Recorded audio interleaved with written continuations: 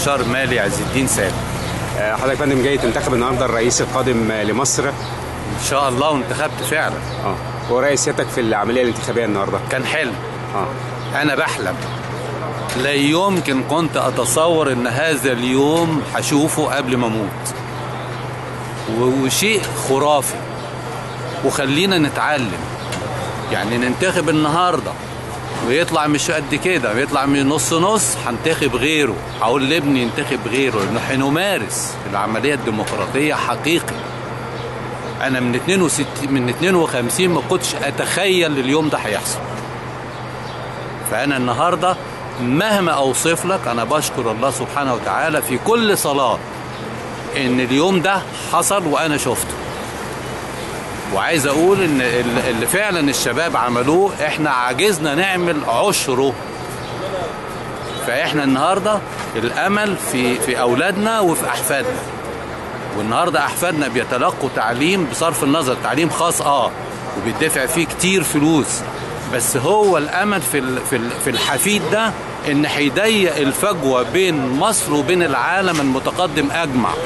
لأن أنا واثق إن حفيد اللي عنده 10 سنين النهارده هيبقى أفضل من اللي زيه في أمريكا وفي ألمانيا وفي النمسا. والكلام ده حقيقي أنا مش بقوله كده. أنا بشوف الأطفال الأجانب وبشوف أطفالنا اللي هم بيتلقوا التعليم المحترم. وده امل مصر وده المخزون الحضاري اللي بتتمتع به مصر عن أي عنصر آخر من عناصر العالم. تقول سعادتك إيه للرئيس القادم؟ الرئيس القادم أقول له إيه؟ اتق الله. واعمل حسابك إن زي ما جبتك هقدر أشيلك. دي نقطة مهمة جدا. إنما أنا مش عايز واحد يجيني حاطط المسدس على دماغي. جاي لي دبابة آخر الليل. ده خلاص خلص.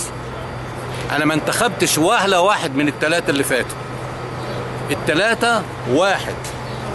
استولى على الحكم وهو لا يملك. إدى للذي لا يستحق. وقعدوا يباصونا لبعض كما لو كنا مثلا زكيبة رز. استحالة هذا هذا اللي حصل. فأنا بتكلم النهاردة مصر فائت ولا يمكن. هتعود الأيام الأخرى وهتبقى منارة للعالم أجمع. النهاردة مش هتبقى إسرائيل بس هي اللي في المنطقة وده كان الهدف. حتى ديمقراطية لبنان ضربوها. إنما مصر هي اللي هتبقى الديمقراطية وإسرائيل هتاخد وضعها الطبيعي زيها زي الأردن زي سوريا زي لبنان. إنما ال- القائد في هذه المنطقة هي مصر. رضي العالم ولا مرضيش شعبها قادر على تحقيق الكلام اللي أنا بقول لك عليه ده. وده يوم هيحصل وهيحصل قريب قوي.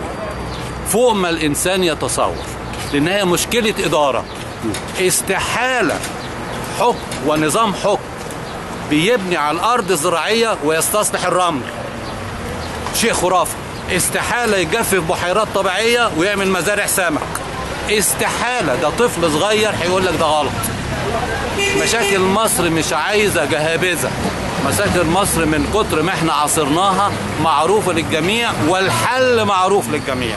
أول قرار إداري من وجهة نظر حضرتك لابد أن يتخذه الرئيس القادم.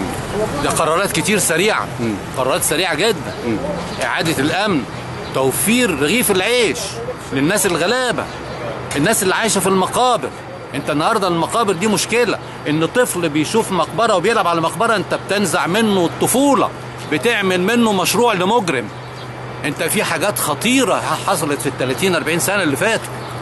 فأنا أرجوه إن يتقي ربنا ويبتدي يشتغل ويشتغل بأمانة. وبعدين أنا مش هقول لك ه- ما يسرقش لأن هو مش هيقدر يسرق. ده غصب عنه. حتى لو جبت علي بابا وال 40 حرامي مش هيقدروا يسرقوا لأن عهد السرقة خلص. فأنا بقول لك إن شاء الله بدون مقاطعة في مشاكل على طول لازم تتحل في خلال أيام.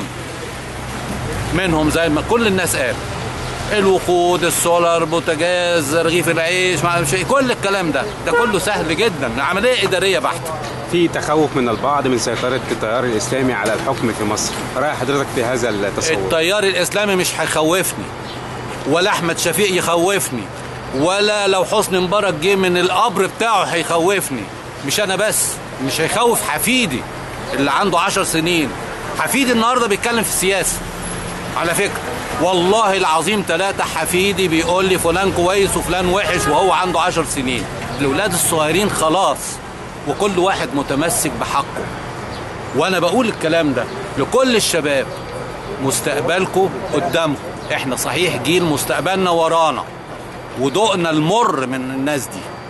فإحنا خلاص العالم فاق وانتهى. لا يمكن. مش هتعرف تخدره ببرشام وبانجو والقرف ده كله. مش هتعرف. خلاص. الناس فاقت. فأنا بقول لكم إن ده النهارده يوم عيد بالنسبة لنا.